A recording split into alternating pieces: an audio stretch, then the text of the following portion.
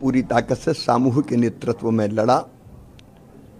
हमारे प्रदेश अध्यक्ष we D Sharma ji और संगठन के बाकी सारे कार्यकर्ता भी काम में लगे। और सबसे बड़ी एक बात और है कि डबल इंजन की सरकार, नरेंद्र मोदी जी का आशीर्वाद सदैव मध्य प्रदेश को मिला।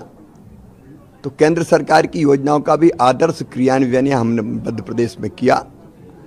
और मध्य प्रदेश सरकार ने इतने वर्षों में चाहे सड़क हो बिजली हो पानी हो शिक्षा हो स्वास्थ्य हो सिंचाई हो कोई भी क्षेत्र ऐसा नहीं छोड़ा जिसमें बेहतर काम ना किया हो।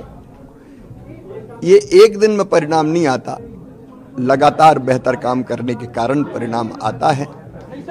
और महिला सशक्तिकरण के लिए लाडली बहना योजना एक कड़ी थी अगली कड़ी। लाडली लक्ष्मी कन्या विवाह रिजर्वेशन महिलाओं को, बहनों को, ऐसी श्रृंखला थी। उसकी एक अगली कड़ी थी, लाडली बहना, और अब होगी लखपति बहना। तो उनका भरपूर आशीर्वाद मिला, लेकिन समाज के हर वर्ग का आशीर्वाद मिला।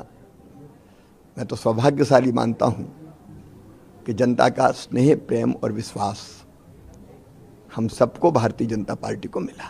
लाडली बहना की आंधी चली है आप मानते हैं कि लाडली बहनाओं का ज़बरदस्त योगदान है इसमें कोई दो मत नहीं। सर एग्जिट पोल जब आए थे तब दिग्विजय सिंह कह रहे थे कि जो चैनल चला रहे हैं उनके कपड़े फटेंगे और जो परिणाम आ रहे हैं मैं आज कोई और टिप्पणी नहीं करना चाहता परिणाम से सब स्पष्ट हो गया है।